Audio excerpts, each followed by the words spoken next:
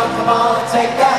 Ah, yes, but we're not going to be as obvious as to do that, but we're going to dig far deeper into the album, and let's see who the real Take That fans are audience. To see, I don't like the way you've been treating me. I promised you nothing, gave you much more. Making love is Okay, hardcore, cheesy, here we go. You're never